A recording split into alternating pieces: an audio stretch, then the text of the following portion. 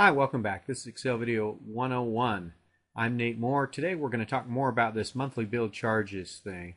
Remember we had a trend last time, and what I want to do this time is kind of start where we left off. Let's go to the Layout and Analysis tabs. I want a trend line. I'm going to go to More Options, and the trend line options linear is good. Trend line name, I'm not going to worry too much about that. But what I want to do is I want to forecast three periods forward. Now, let's just talk briefly about forecast before we got too far into this. Now, first off, why would you ever want to forecast in medical practice? I think there are probably a couple of things you may do. If you are uh, storing some kind of inventory, whether it's lab supplies or clinic supplies or something like that, something where you've got to figure out, okay, how many of these am I going to need over the next month or two months or, or a year or however long, forecasting the procedures that you're going to do that are going to require that inventory amount may be helpful. Maybe it's staffing levels. Maybe it's uh, how many new physicians are we going to need over time or full-time equivalents for each new physician. I think there are a variety of ways that um, forecasting down the road may be helpful for you. And as we look at forecasts, the other thing I'd say just briefly is uh, when you're forecasting, obviously the the more near term, the, the forecasts that are closer to the current period are going to be a lot more accurate than future stuff is. If you're trying to forecast the next three months, you're going to do a lot better than the next three years. Uh, as you look at forecasts, another thing you may want to do is rather than forecast every day's worth of collections or bill charges or whatever, if you aggregate things so you're forecasting by month or even by year, you're going to be more accurate than a day to day swing. And the other thing you may want to say is rather than forecast, you know, 99203, what you may want to do is forecast new patient visits. And that's going to be more accurate than trying to get down to the fine detail. So, with just some brief comments about forecasting, let's see how Excel does it.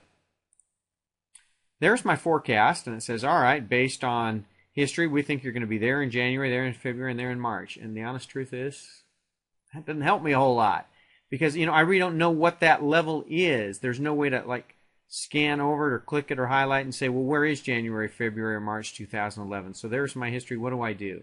What I want to show you is if you're going to chart that and kind of project out, Excel has a bunch of forecasting tools built into it, and that's where I want to spend uh, some time today.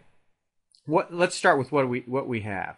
This piece here is simply what we charted up above. I just copied and pasted it down here so we could play with it. And then when I put just 1, 2, 3, 4, 5, all the way to 12, so I've got 12 periods, and I've got some data up here. From uh, the good old algebra days, you remember y equals mx plus b. y is, in our case, the dollar amount, and x is the months.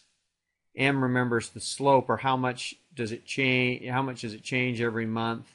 And b is the y-intercept, or where does this chart or this forecast go across the y-axis there. With that, there's um, three different ways that we can forecast this information. There's a forecast function, y equals mx plus b, and a trend function. I'm going to do the forecast function today. Then we'll come back and we'll worry about these calculations here that are up in here, and y equals mx plus b, and this trend is an array formula that we'll come back to next time.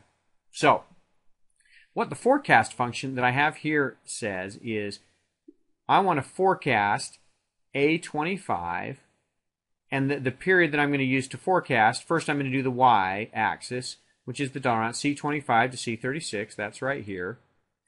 And then the last piece is A25 to A36, that's the months that I'm forecasting 1 through 12.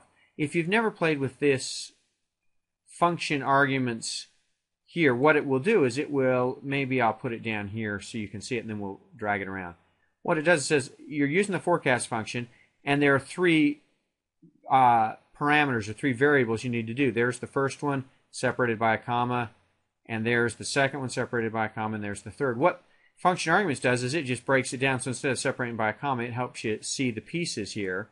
And when you do, you can see, all right, x25 is, or x is a25, and that's right there. The known y's are there, and the known x's are these cells a down through that 12, A25 to A36. And it'll even give you help along the way. X is the data point you want to predict. this is the dependent array of, and this is the independent array of numeric data. And so with that, it will tell you what the formula result goes along the way. So you say, well, what on earth is that 1163025? What's that 1.1 million number? What it is, is it's that number right there that Excel's using to forecast the January amount. And you want to know what March is? Well, it's going to be, it looks like it's a little bit above that 1.2 line, and sure enough, there it is, a little bit above 1.203. And all the forecast formula does, it says, all right, what period am I on? I'm on period three, and I'm looking at the very same thing. See, I've locked them in with dollar signs, C25, C36, A25 to A36. By doing that all the way along, I can tell you what the values are on my forecast line all the way out to December. And now I can also tell you what it's going to forecast for January, February, and March. And all I did here was I didn't need January, February, and March data here and I didn't need this data because I don't know it. This is future data that I won't know. So I just rolled this out 13, 14, 15, and all the formula says is, okay, take A37, which is that period 13, forecast based on what the y-axis was from C25 to C36 and what the x-axis was from A25 to A36. And you can roll this formula out as far as you want, as long as you keep these going. Oh, Got to convince this thing to count for me. As far as you want. That's what I wanted to show you about how this forecast function works. Forecast is one way to get these numbers. Clearly, there's two other ways to get the very same numbers. I'll show you how those two work next time. Thanks for watching.